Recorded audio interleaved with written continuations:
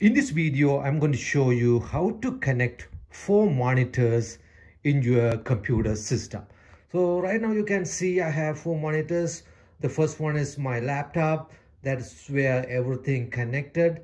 And I have uh, three more monitors. Let's look at how to connect that uh, setup. If you look at uh, here, let me show you how I have done that.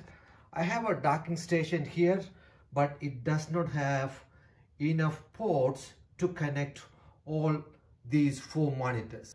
And these monitors are a little old and you can see here this is DVI to HDMI adapter. So this one is connected directly to the HDMI port in my laptop and other two are connected to this docking station.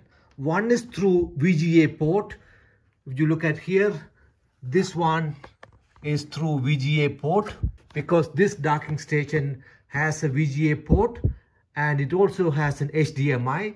So I use the same adapter DVI to HDMI here and it is connecting to the HDMI port here. So one monitor using DVI here, one VGA and other one is connected directly. But how you connect all your monitors depends on what kind of hardware and what kind of connectors you have. For me, these are all I have. So I used what I have and was able to connect all of them. Right now, the mouse flow on these monitors are not sequential.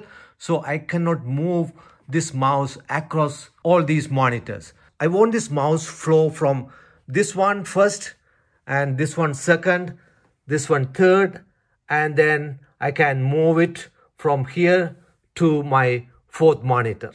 So let's go here to configure all these monitors properly and set up your mouse flow properly. Right click on the desktop and go to display settings. And now the display setting is opening on the other monitors here.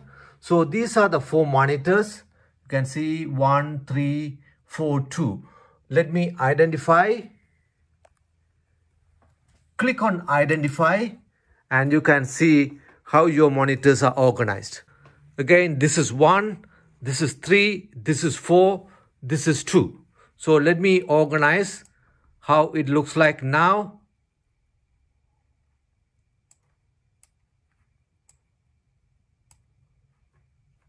Apply. And see, I can move the mouse properly now. I have enlarged this mouse. So now you can see the mouse is flowing properly from here to here and then you can go to there and then you can come and then you can go here. So let's open four browsers here. I'm going to take one here and I'm going to take another one here and I'm going to take one more to the top. So basically you have to come through this monitor to go here.